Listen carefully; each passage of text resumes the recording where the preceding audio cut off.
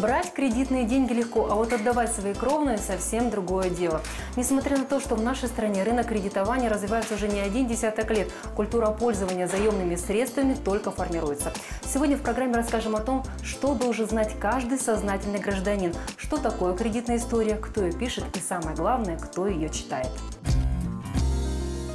Финансовая грамотность – тот предмет, который не преподают в школе, но который не менее важен, чем русский язык и математика. Проводить бесплатные ликбезы, которые позволят сэкономить массу средств и нервов, взяли специалисты одного из ведущих банков. 7 до 14 ноября придут дни финансовой грамотности.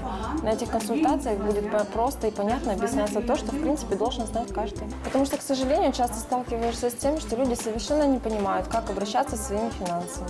Не упуская момент, я решила спросить у красноярцев, знают ли они, что такое кредитная история и зачем она нужна.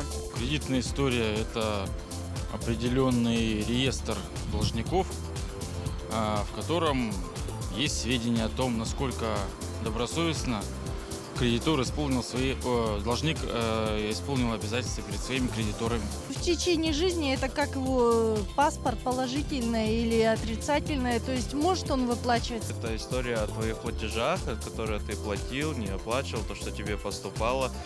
А зачем она нужна? Ну, для слежки, наверное, чтобы за деньгами своими следить. Кредитная история – это информация о том, как заемщик исполняет взятые на себя обязательства, какие суммы он брал, в какие сроки он платил. От того, насколько точно и правильно заполнена кредитная история, зависит дальнейшее отношение заемщика с банком. К сожалению, иногда в этом документе случаются ошибки. Из-за них могут отказать в выдаче следующего кредита. Поэтому важно, во-первых, знать, где хранится ваша кредитная история, а во-вторых, знать, что в ней написано. Отмечу, что в течение этой недели в Дни финансовой грамотности узнать свою кредитную историю можно совершенно бесплатно. Обычно стоимость этой полезной информации начинается от 500 рублей. Но в эти дни всем обратившимся она предлагается в качестве полезного бонуса. Можно узнать, по какой причине отказали, положительная она или нет. Большая часть кредитной истории россиян хранится в трех крупнейших бюро. Э, в Дни финансовой грамотности научим, как правильно следить за заполнением кредитной истории, куда обратиться, чтобы узнать ее местонахождение и получить ее. Также выдадим ваши кредитные истории вам на руки. Также в эти дни научим правильному обращению с кредитом, на что обращать внимание при выборе кредитного продукта, а также э, как выгоднее его погашать и другим хитростям.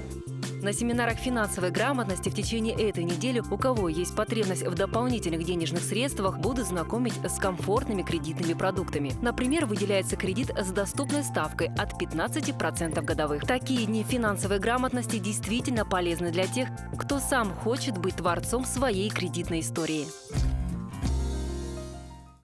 Спонсор программы – Банк Восточный. Выгодное предложение. Кредит сезонный. Сниженная процентная ставка, минимальный пакет документов. Индивидуальный подход к каждому клиенту.